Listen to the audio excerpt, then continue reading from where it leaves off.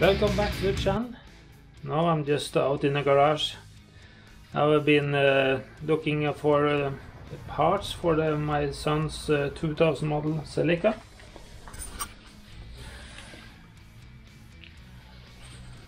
As you see here, I have some parts. And I have more parts. And I even have more parts. Let's see. Here, one spring. I have mounted one spring on uh, that side. But I'm going to change on the other side too. New shock absorbers for both sides of course. Let's see more paper work here.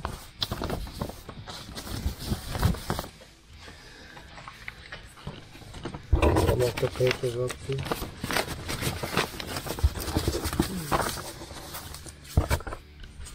Yeah.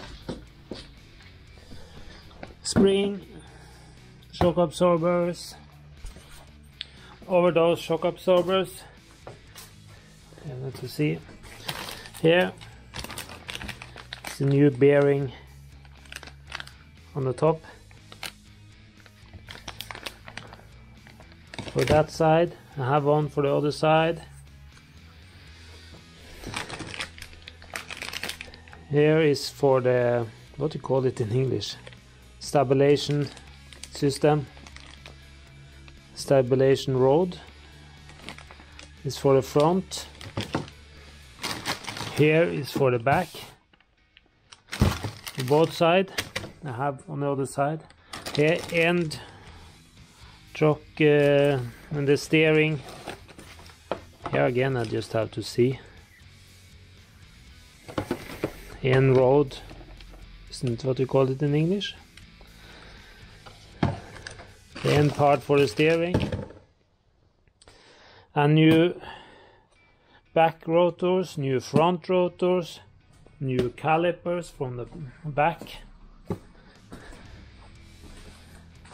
handbrake, brake pads. Here we have more, making this, more for the suspension that I was just finding it for a very good price. More for the handbrake yeah, just have to see because here I think it's the cylinder for the back brake.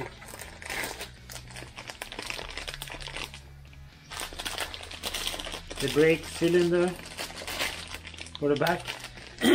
if I need to change it, if it's not looking nice, I just change it because I bought I bought a complete set of for both sides there. And here also was some more for that. Was it a mounting?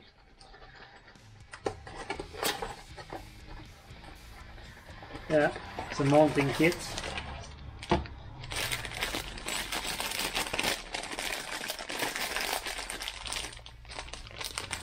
here's for a back brake supposed to be a complete kit for both sides. I'm not sure why one is green and the other is orange but I have that?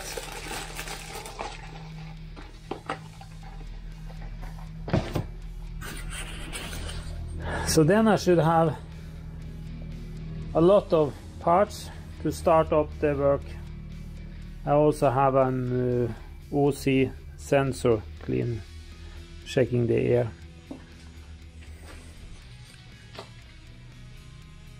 But then I'm going to start.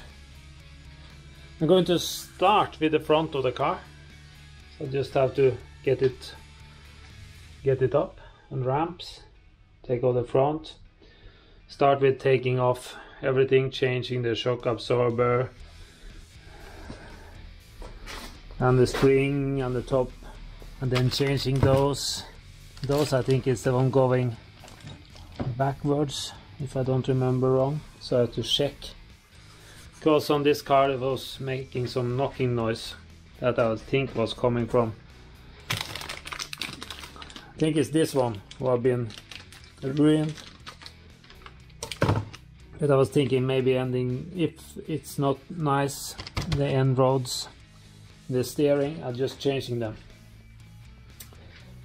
The back brakes it was not good at all. It was very bad. So then the plan is to change those. Now I have to check one thing. Uh, see the picture here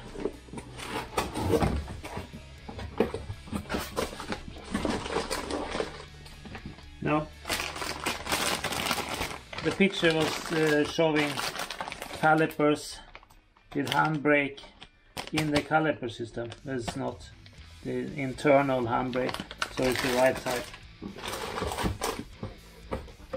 So then that is going to be okay. So I hope uh, your people, boys and girls, come back and see more videos uh, when I start working more on this car. Soon I have to start. I'm just taking it in now and seeing this part. I think I was changing the brake pads in the front and maybe also in the back before. I have to check my old videos just to see. I think I was changing the brake pads in the back but uh, then the brake calipers in the back was very poor. So I just had problem making that move as it should. So I just changing them. All these parts I was getting from the States in USA the most of it. Those I bought in Norway. The rest was coming from the States from Rock Auto Rock Auto in the States from different uh, shops there. So that's good the shock absorbers I get in Norway, the springs I get in Norway from different shops. One called Skruat and one Bildeler.no. So it's come from different places. So I hope you would like to see more about this car and the work on it. And if you have some things I should be looking out for and uh, things you would like to know more about this car or some of my other Celicas or my Land Cruiser or some of the other cars. Just leave a comment. Leave a like if you would like to see more about this car and you think it's okay for me to put up this video about telling you what is going to happen uh, during the winter. I'm not sure if I'm going to do everything right away after each other or if I need to move this car out to take in one or two other car in between. I have a friend who should have helped him change timing belt on uh, old Toyota Camry. We have some other cars. And hopefully I'm getting a bigger place that I was supposed to be able to rent cheap. That I can get in two or three cars. But I get some problems so I just have to wait and see. But please come back. Please subscribe to the channel please like my videos and put uh, some comments questions comments about what I'm doing right or wrong. Everything is welcome. Thank you